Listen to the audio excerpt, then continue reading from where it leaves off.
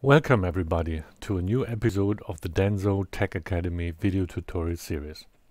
Today I would like to introduce to you the BHT Application Launcher. The BHT Application Launcher is an application which we can use to lock down the device and make sure that our device operators can only see and use the applications which we as the administrators allow them to use on the device. So how can we do this? Let's have a look at the device. Good.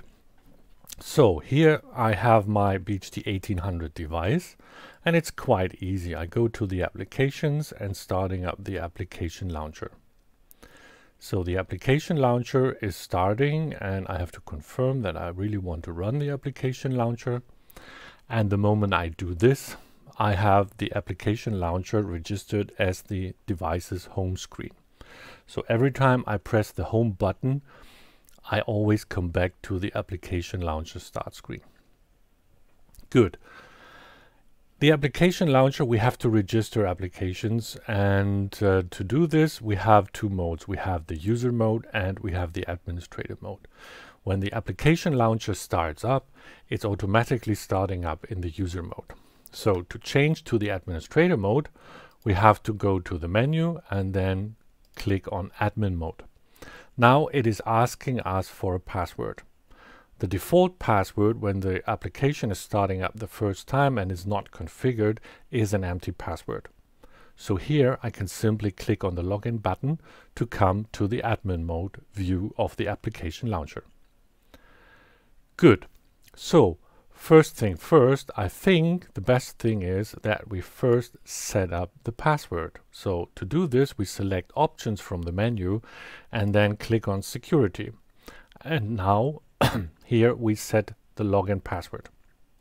So I configure a very simple login password and I can confirm the password and then click on done and now the password has been changed. So the next time I would like to change from the user mode to the admin mode, I have to enter this password.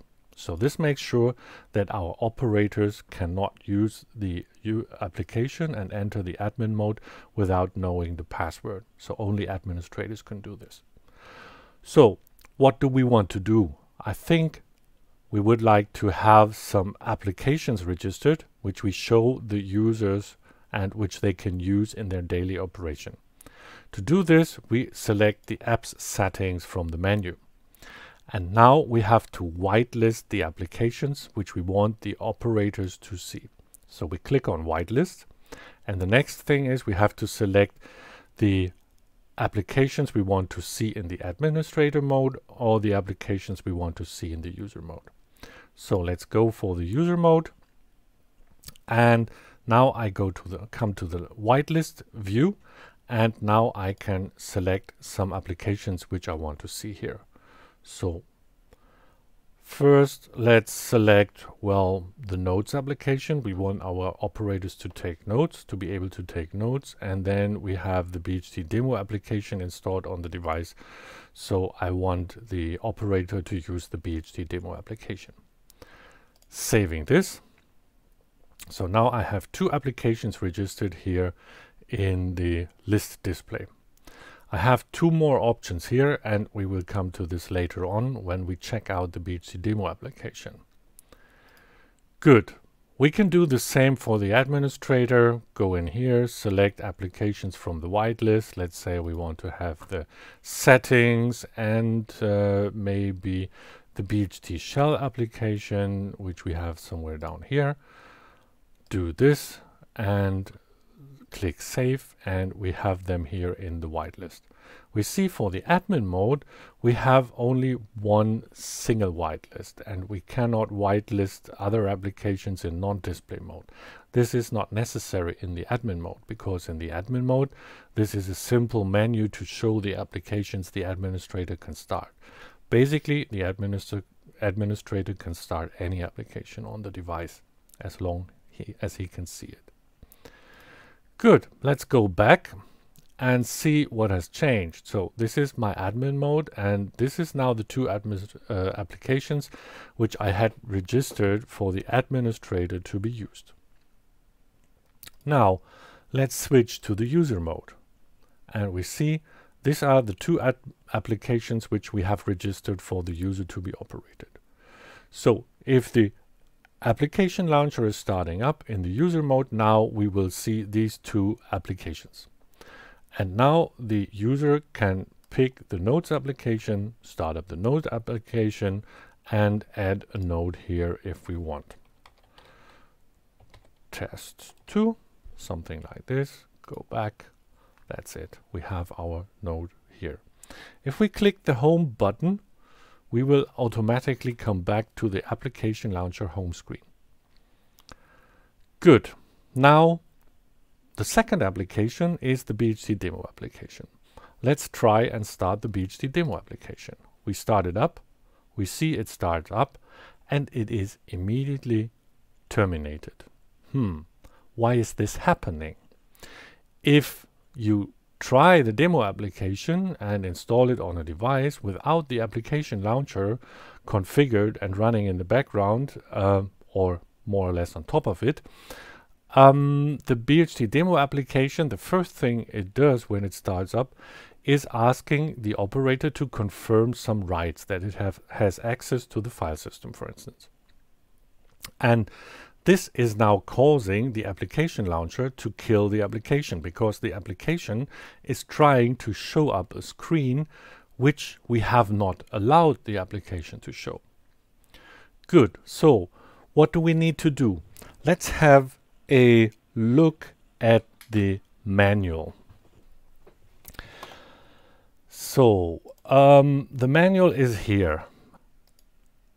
In the BHT 1700 1800 series software user manual, there is a section about the application launcher.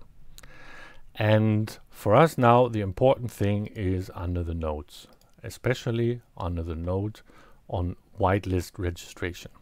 If we scroll down here a bit, we find a section where it says if the application requires authorization approval.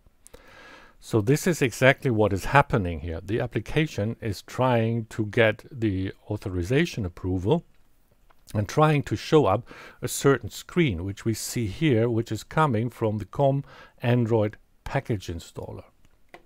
So what we need to do is to register the COM Android package installer in the whitelist of our application launcher to make sure that the application is able to start up this view.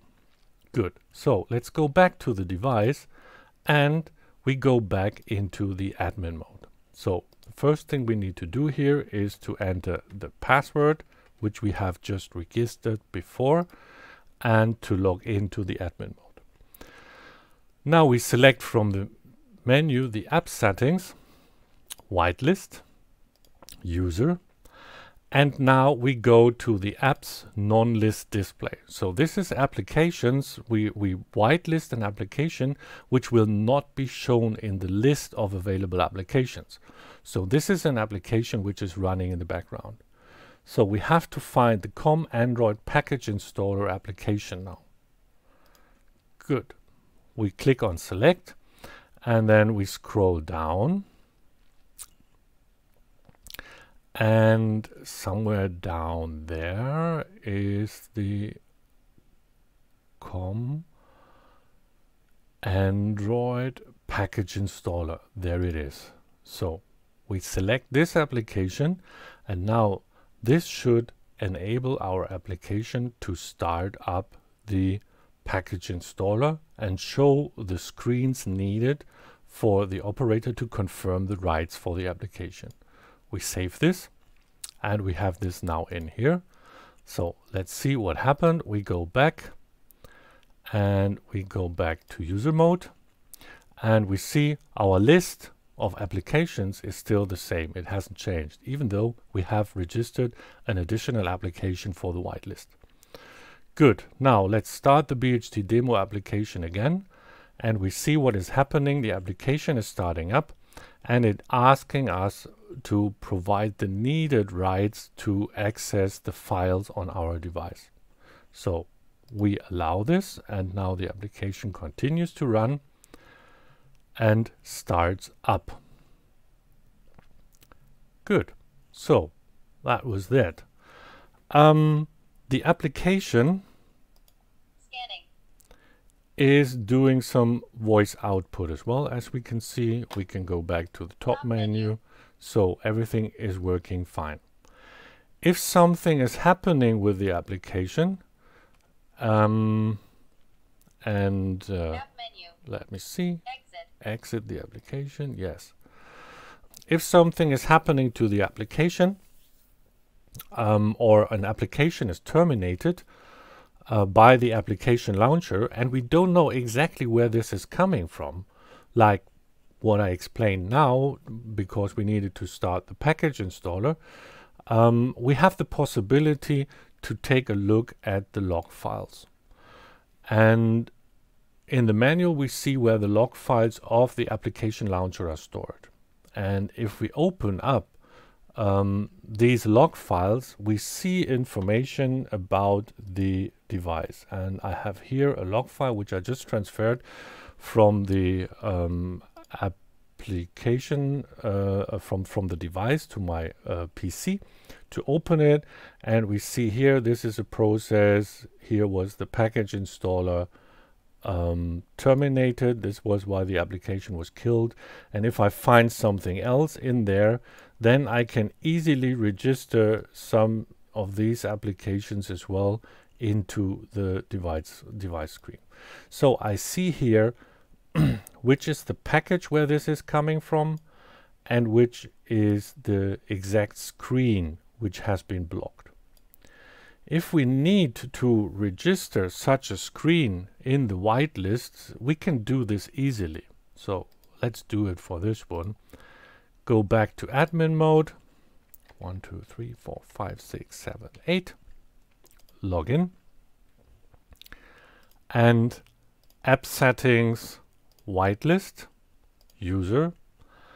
And if I want to register a certain screen to be shown, I can do this here in the app screen section.